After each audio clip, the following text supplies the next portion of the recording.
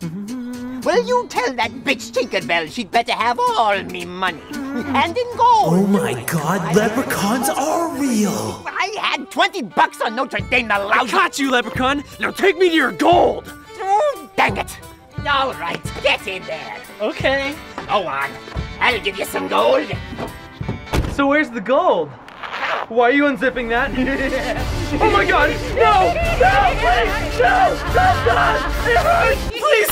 It hurts! What's wrong, boy? The gold coins are hurting my hands!